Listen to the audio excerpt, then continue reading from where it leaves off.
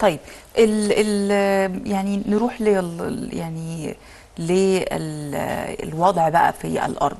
يعني إحنا كنا عندنا قمة السلام وقمة تدعو إلى السلام ومع ذلك القصف مستمر آه، على قطاع آه، غزة. آه، يعني إيه هي النقطة؟ وخليني وحتى يمكن البيان الرئاسي أشار لهذه النقطة إن إحنا في هذه القمة بنحاول نوصل لأرض مشتركة بين المواقف السياسية المختلفة بين الجنسيات المختلفة بين الأديان المختلفة للوصول للنقطه المشتركه سبيل الوصول للنقطة المشتركة. شوفي هو قمة القاهرة للسلام النهارده استقطبت عدد كبير جدا من الدول العربية. أو الدول المنظمات الدولية أو حتى الدول الأوروبية والولايات المتحدة. كان في تمثيل واضح للولايات المتحدة ولليابان الاتحاد الأوروبي لإيطاليا اليونان قبرص إسبانيا بريطانيا. أعتقد إنه كان فيه سياقات مختلفة كله كان فيه توافق على فكرة أهمية السعي لوقف هذا العنف.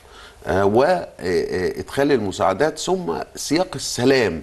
وهو النقطة الأهم في رسالة سلام واضحة قدمتها مصر وقدمها الرئيس عبد الفتاح السيسي، الرئيس عبد الفتاح السيسي كان محدد وواضح جدا وأكد ما سبق تأكيده خلال هذه الفترة إنه استمرار هذا الصراع لن يكون في صالح أي أطراف.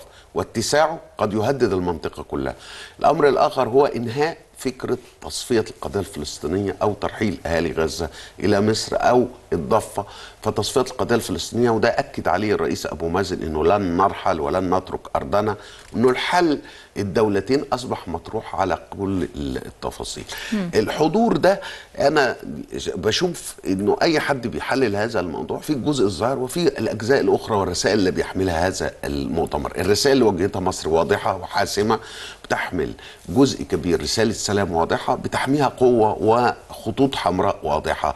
في هذا الأمر. الجزء الآخر هو الرسائل النهارده اللي بيحملها المشاركين في هذا في هذه القمة سواء رسائل حول وقف التصعيد سواء الرسائل إلى إنه إسرائيل لم تحقق أكثر من قتل المدنيين وبالتالي حتى أهداف نتنياهو لم يحقق الكثير من الأهداف التي اعلنها مشكوك في إنه يكون نجح في تصفية حماس أو هذا الأمر دون ثم أن السير في قتل المدنيين والعدوان دون أفق في النهاية لن ينتج أي شيء. دي رسالة واضحة جدا موجودة النهارده.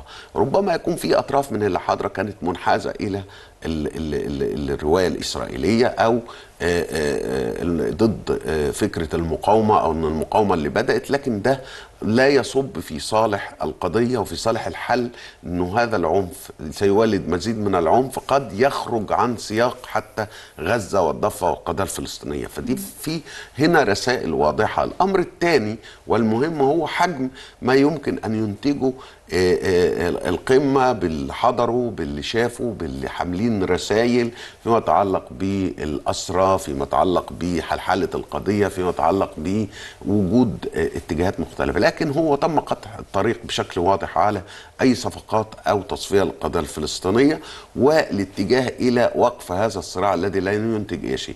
وأظن إنه المجتمع الأوروبي والمجتمع الأمريكي النهارده حجم التظاهرات حجم التأثر في الشوارع والجامعات والشباب و المجتمعات دي بيخلخل الأمر لأنه أصبحت الصور يعني قتل المدنيين في غزة المستشفيات استهداف الكنائس استهداف ده كله أصبح سياق مهم يطلب وقف هذا حتى العدوان. لو حتى لو يا أستاذ أكرم التصريحات الرسمية بتقول عكس ده يعني آه شعبيا في تعاطف وفي محاولات لإبداء الغضب.